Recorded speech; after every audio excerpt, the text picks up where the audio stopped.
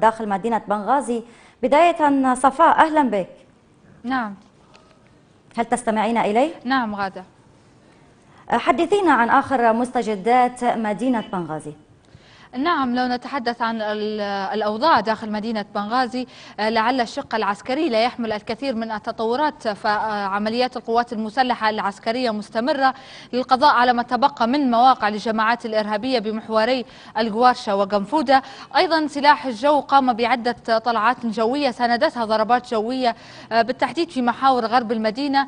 أيضا كانت له العديد من الضربات في بعض المناطق في آه، أو عفوا في بعض المواقع بمدينة درنا والتي تتحصن داخلها الجماعات الإرهابية وبعضها يحتوي على مخازن للأسلحة لتلك الجماعات.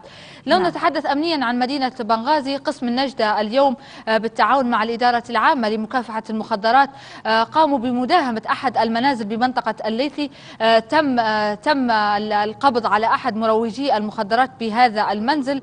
تم ضبط أكثر من 15 حبة نوع مخدر بالتحديد نوع ترامادول. تم ضبطه وحيازتها و وإحالة المتهم إلى جهات الاختصاص. أمنيا أيضا آه، الشرطة النسائية والتي خرجت منذ الأمس في شوارع مدينة بنغازي للتفتيش على سيارات العنصر النسائي بالتحديد في شوارع المدينة. آه، تشهد مدينة بنغازي انتشار لهذا العنصر آه، النسائي الأمني في مفترقات المدينة وأيضا في شوارعها.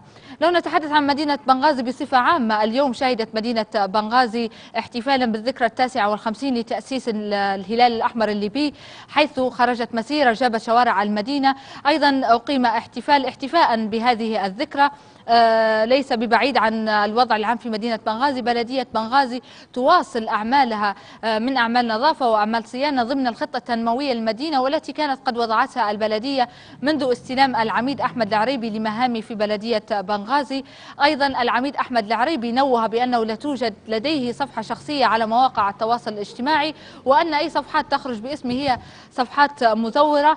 آه، مؤكدا بأن كل الأخبار التي الأخبار المؤكدة وكل المستجدات تخرج من بلدية بنغازي مباشرة. أشكرك صفاء الحاسي كنت معنا من داخل مدينة بنغازي.